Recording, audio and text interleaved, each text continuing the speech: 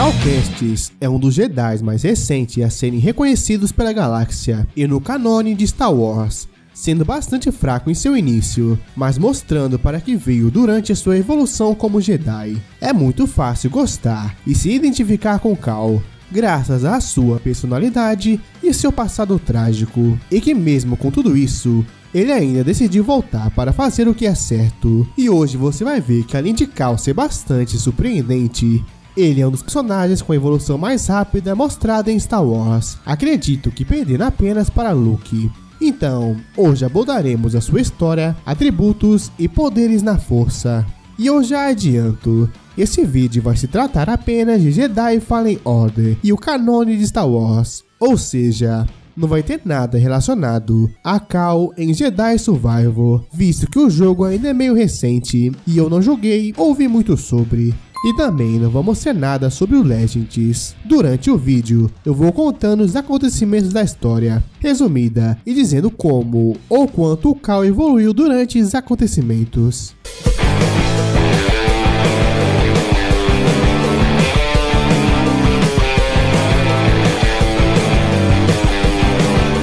Não se sabe quase nada da vida de Cal antes dele se tornar um padawan da Ordem Jedi. Não sabemos o seu planeta de origem ou quem são seus pais, mas ele provavelmente surgiu, assim como todos os outros Jedi, sendo pegado de sua família desde pequeno para iniciar os treinamentos na força. Cal, desde que evoluiu como Yongling, começou a ser treinado por Jaro Tapal, um Jedi da espécie Lasat, que tinha um rígido treinamento com seu aluno, sempre tentando forçar o seu limite para se tornar melhor, às vezes até diminuindo ele, mas também enaltecendo seu aprendiz para que ele supere seus limites. Cal, com seus 13 anos de idade, já possuía a maioria das habilidades de um padawan, como o pulo Jedi, puxar, correr nas paredes e outras habilidades relacionadas à força. Porém, ele nunca foi um exemplo de habilidade ou prodígio, sempre falhando muito e muitas vezes travando em momentos importantes. A vida de Cal veio a mudar quando, em um dia de treinamento, ele e seu mestre foram atacados por soldados clones, já que se deu início à Ordem 66. Cal e seu mestre tentam fugir da base em que estavam, mas Cal acaba perdendo seu sabre de luz e seu mestre se sacrifica para proteger seu aprendiz antes de morrer e lhe dar o seu sabre. Antes de avançarmos e detalharmos mais a história de Cal e seu poder, deixe eu explicar brevemente o funcionamento da força. A força é um misterioso campo de energia criado pela vida que une toda a galáxia. A força dá aos Jedi, Sith e outros habilidades extraordinárias, como levitar objetos, encarar mentes e ver coisas antes que elas aconteçam. Embora a força possa conceder aos usuários habilidades poderosas, ela também direciona suas ações. A força também oferece o melhoramento físico para aqueles que a usam, como se tornarem mais rápidos, fortes e resistentes do que as pessoas comuns, ou terem seus reflexos melhorados. O nível de um usuário varia da sua conexão com a força. Quanto maior a conexão, mais poderes da força ele possui, e mais forte ele é. E quanto menos conectado ele fica, ele mais perde força e poderes. Com tudo entendido, vamos seguir para a história de Cal. Cal acaba conseguindo se esconder do Império, que começou a sua caçada contra os Jedi, escondendo a força dentro de si e tentando viver uma vida comum. Cal agora possui seus 18 anos de idade, tendo se passado 5 anos desde a Ordem 66. Ele é um sucateiro comum, mas por obra do destino ou da força, ele acaba tendo que usar seus poderes para salvar seu amigo, Pralf, que estava prestes a morrer. Cal acaba indo embora do seu trabalho com seu colega e tem visões sobre a Ordem 66 e seu mestre, até que o seu trem é parado por um grupo de soldados do Império e duas inquisidoras se apresentam, que são os Jedi que sucumbiram ao lado negro e agora caçam novos Jedi.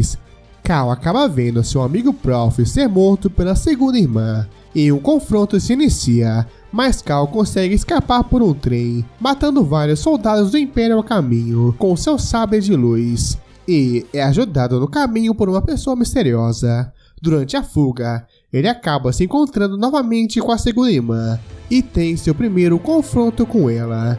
E fica bem nítido a diferença de poderes entre os dois. Os anos de falta de prática fizeram com que Cal perdesse quase todas as suas habilidades Jedi e também ficasse mais fraco fisicamente.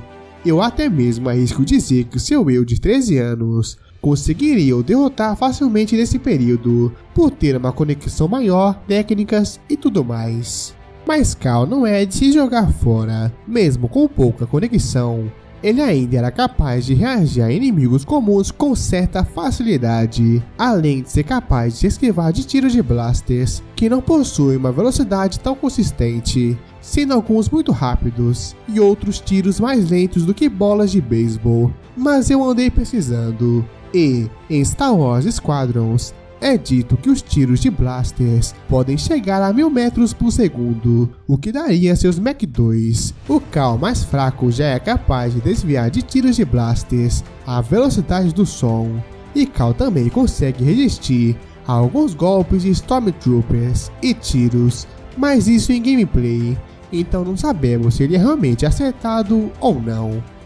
Cal acaba sendo salvo da segunda irmã por duas pessoas. Seri, uma ex-mestre Jedi que se fechou para a força, e Grease, um baixinho mal-humorado. Cal acaba sendo convencido a se aliar a eles em uma nova missão para procurar alguns artefatos dos Elfos para conseguirem os nomes das crianças sensitivas à força da galáxia e então reerguer a Ordem Jedi.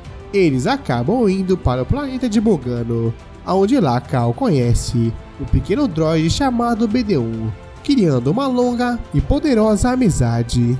Cal acaba podendo ter dificuldades com o planeta e com as criaturas do mesmo, mas ele consegue restabelecer a sua conexão com a força ao reaprender a correr nas paredes, desbloqueando a sua nova habilidade. Então ele e BD1 conseguem achar mais informações sobre a lista das crianças sensitivas à força, mas são direcionados a outro planeta.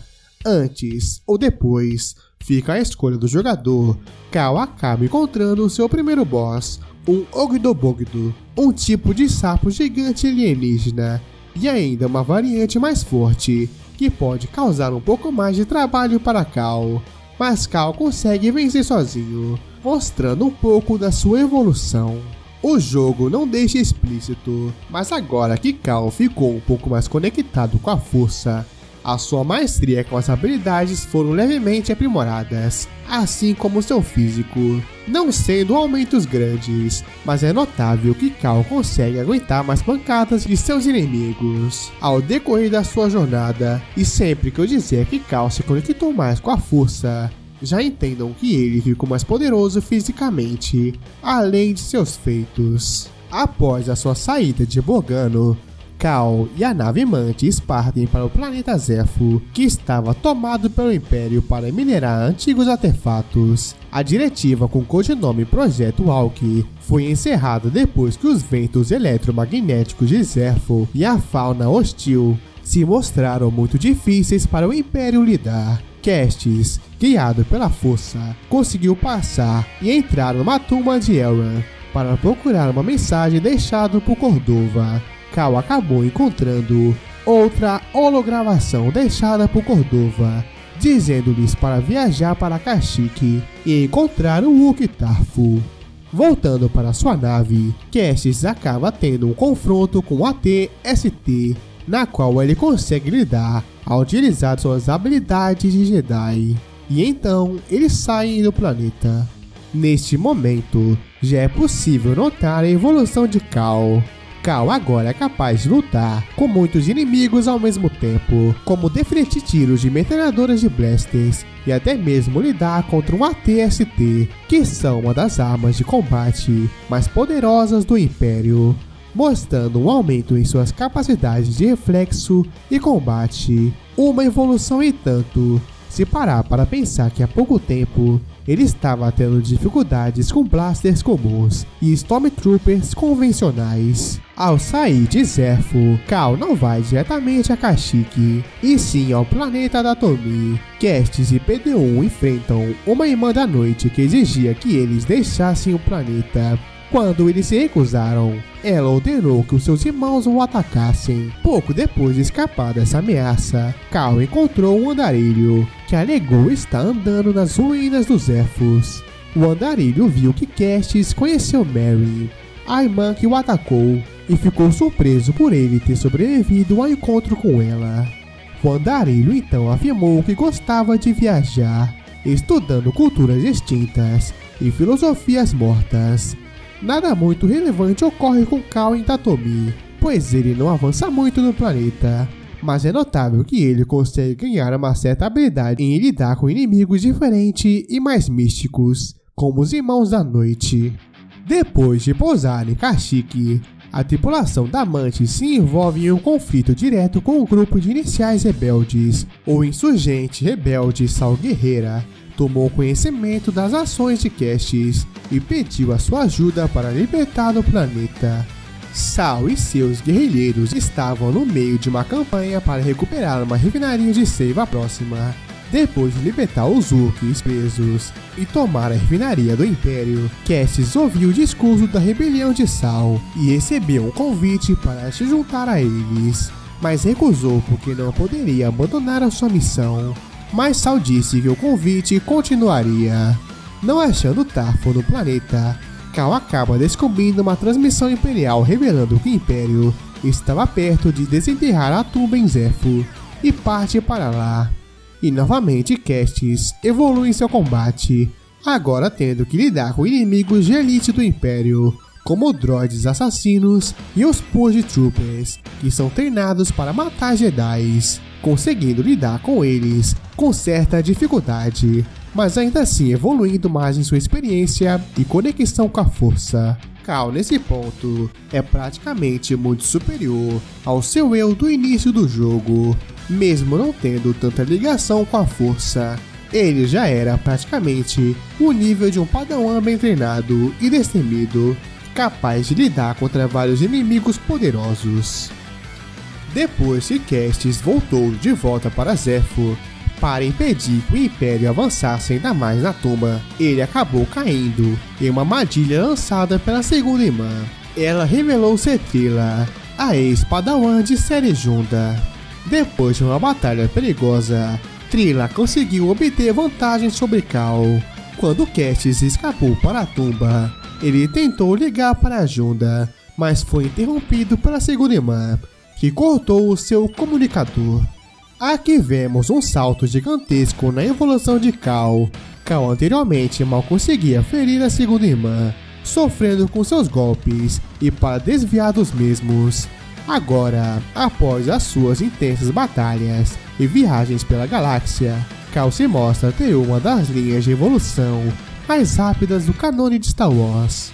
Não só agora conseguindo durar contra a segunda irmã, como tomar vantagem em alguns momentos da luta, mesmo que claramente a segunda irmã ainda seja mais forte que ele. Depois de explorar mais a tumba, Cash subiu em um sarcófago suspenso. No entanto, as forças da segunda irmã o alcançaram e a Inquisidora ordenou que suas forças derrubassem o sarcófago. Encontrando-se caído na morte certa, Castis novamente foi capaz de aumentar a sua conexão com a força e puxou seu sabre de luz na hora certa, pousando com segurança em uma saliência abaixo. Ao sair da tumba, Cal e BD-1 encontram um log criptografado de Cordova, explicando que a chave para Bogano era um dispositivo chamado de Austrion e que ele teria que encontrar. Cal, quando ia voltando para sua nave, ele acaba encontrando um droid e perde um confronto para o mesmo. E então ele é capturado e acorda em um planeta misterioso. Ele consegue sair da prisão e recupera BD-1 e descobre que havia sido capturado pelo infame Soktormo e é forçado a lutar em um coliseu brutal. Kestis lutou contra várias criaturas diferentes e derrotou todas, além do droid que o havia capturado e roubado o BD-1. E então ele consegue fugir do planeta ao ser resgatado pela nave Mantis. No caminho para Kashyyyk, Gui se aproxima de Cal, dizendo-lhe para pegar mais leve com Seri, por causa que Cal havia pegado um pouco pesado com Seri ao ter descobrido seu passado e a verdade por trás da segunda irmã. Aterrizando no planeta, eles encontraram o resto da resistência, que havia sido quase toda exterminada pela segunda irmã. Cal então encontra Tarfo, que diz a ele para escalar a árvore da origem. E então Mari, uma das combatentes, deu a Cal um respirador para ajudá-lo a chegar lá. E então os dois grupos se separam. Ele então acaba ajudando um pássaro voador gigante que voava nas redondezas, e com a ajuda do mesmo, ele chega até a árvore da origem, aonde descobriram que Cordova havia encontrado o Estrion lá há muitos anos, e que agora o Astrion estava em Datomi. Porém, Cal acaba sendo surpreendido pela nona irmã, então eles entram em um confronto direto. Mas Cal consegue sair vitorioso ao cortar a mão da nona irmã e empurrar ela para fora da árvore da origem. Fica claro que Cal agora já é nível de um inquisidor, pois anteriormente conseguiu durar contra a segunda irmã e agora mostrou ser capaz de vencer a nona irmã em um combate feroz aqui já sendo um feito de força, visto que Cal durante o combate é capaz de vencer a Nonimã em um combate de sabres, segurando a força dela em investidas e a contra-golpeando de forma mais rápida e mais forte. E claramente a Nonimã possui uma força sobre-humana, tanto pelo seu tamanho quanto pelo seu porte físico. Chegando mais uma vez em Datomi, eles foram mais uma vez encontrados pela Irmã da Noite, que começou a reviver as suas irmãs mortas para atacar Cal, enquanto perseguiam pelo seu caminho. Antes de Cal conseguir chegar ao seu destino, ele e BD-1 foram atacados pelo monstruoso Górgora, que era um ser voador gigante, de no mínimo 5 metros de altura para mais. Porém, eles conseguem vencer a criatura. E então, entrando no templo de Datomi após vencer o monstro, Cast se foi então atacado por uma visão que assumiu a forma de seu mestre, sendo essa uma representação da culpa e perda de Cal. Derrotado pela ilusão e desanimado, Cassis tentou fugir de volta para Amantes, mas ele acabou encontrando o andarilho de antes, que se revelou ser Taron Malicus, um ex-mestre Jedi que agora estuda o lado negro da força. Malicus pediu a Cassis para se juntar a ele em busca de poder, mas eles foram interrompidos por Meryn. Ela levantou uma horda de mortos-vivos para destruí-los, e então Cal conseguiu escapar do planeta por pouco. Porém, com seu sabre de luz destruído. Provavelmente aqui são os feitos de Cal mais explícito do jogo. Cal não apenas consegue ferir, como aguentar várias pancadas de Górgora. Quase um kaiju alienígena que possui uma força tão forte que é capaz de quebrar estruturas de rochas e grandes áreas do mapa que variam de tamanho, tendo provavelmente o tamanho de um quarteirão ou de alguns quarteirões. Porém, essa escala de quarteirão não vai apenas para esse feito, e sim para mais um feito à frente. Esse nem é o inimigo mais forte que Cal enfrenta durante a sua jornada, visto que Talon é superior ao monstro, sendo um ex-mestre Jedi que vamos comentar mais para frente. Série presenteou Cal com seus sabres de luz, embora seu Crystal Kyber tenha sido vendido há muito tempo atrás para pagar as dívidas de Grease. Cassie se lembrou de quando estava no planeta com Yoda, quando era mais novo para encontrar o Crystal Kyber para construir o seu primeiro sabre de luz. Cal entrou nas cavernas e seguiu o chamado do seu cristal. Depois de encontrar o seu cristal, ele se dividiu em dois. Cal então acaba aproveitando e com o resto do sabre de luz de seu mestre e o sabre de luz de série, ele criou um sabre de ponta dupla, semelhante ao da sua inimiga. E então, ele parte de volta a Mantis, mas acaba vendo vários soldados imperiais no caminho. Enquanto Cal e BD-1 lutavam para voltar para Mantis, Série bloqueou as comunicações do Império e todos conseguem fugir do planeta. Cal percebe que a única maneira de derrotar a ilusão de Tapal era abraçar o seu passado e seguir em frente com seu trauma, superando ele. Ele então tenta argumentar com Mary. Kestis insistiu que Malicus mentiu sobre a Ordem Jedi. A Irmã da Noite estava cética. E então Kestis rejeitou Malicus como Jedi e passou a ela o seu sabre de luz, com uma demonstração de confiança, afirmando que possuir tal arma não faz ninguém um Jedi. Ele então acaba se solidarizando com a perda dela e afirma que Malicus estava errado em usar aquela dor para manipular a jovem. Mary então permite que Cal passasse, avisando que Malicus estava à frente. Malicus então tenta uma última vez virar Cal para o mal, mas acabou atacando Padawan quando ele recusou. Cal enfrenta Malicus e mostra ser inferior ao seu inimigo, porém ele acaba recebendo a ajuda de Mary durante o combate, e então os dois superam o ex-mestre Jedi. Cal então revelou que veio a Datomir para pegar o Astrion, e Mary concordou em ajudá-lo. Depois que Cal e Mary encontraram o importante dispositivo, a tripulação estava pronta para voltar a Bogano e recuperar o Holocron, com Mary agora fazendo parte do grupo. Cal enfrentou um inimigo muito superior a ele e que de primeiro momento ele não conseguiria vencer sozinho, porém ele se mostrou conseguir segurar o confronto contra o mestre Jedi treinado, isso sem ao menos ter terminado seu treinamento de Padawan, apenas treinando contra seus inimigos. Cal agora possui toda a sua conexão com a força restabelecida, chegando ao seu máximo de desempenho e se tornando mais forte do que nunca. Taron era superior a Kogora, o que implica que Cal realmente superou o Kaju e ultrapassou o nível de um Padawan para o nível de um Cavaleiro Jedi, quase se equiparando a um mestre. A segunda irmã então ordenou que as suas tropas partissem para Borgano, declarando em voz alta que Seri e Kestis não seriam capazes de se esconder dela para sempre.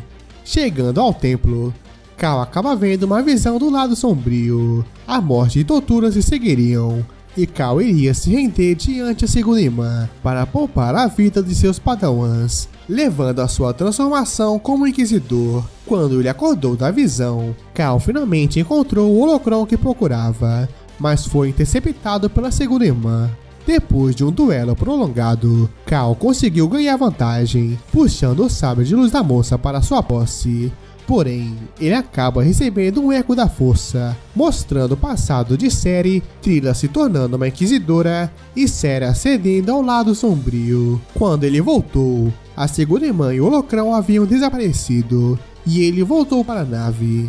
Cal diz que viu o passado de Seri e se desculpou com ela. E agora, com o sabre de luz vermelho de sua padawan, Seri nomeia Cal finalmente como Cavaleiro Jedi. Finalmente, o poder de Cal reconhecido nesse ponto do jogo. Cal superou, e muito, seu eu do passado, sendo considerado finalmente um Cavaleiro Jedi. Perseguindo a segunda irmã, Cal e Ceri se aventuraram na Fortaleza dos Inquisidores, em Num, para recuperar o Holocron. Cal triunfou sobre todas as forças imperiais em seu caminho e viu Ceri lutando contra três Troopers simultaneamente, o que impressionou o protagonista. Cal finalmente chegou à câmera, mas sofreu um ataque da segunda irmã e ambos acabam lutando, percebendo que havia testemunhado seu próprio fracasso ao perder finalmente para Cal. A segunda irmã pôde sentir seus momentos finais chegando e rapidamente gritou Vignos para Cal e Seri antes que Veida derrubasse. Cal e Seri ativaram seus sabres em retaliação ao perigo que Vader representava.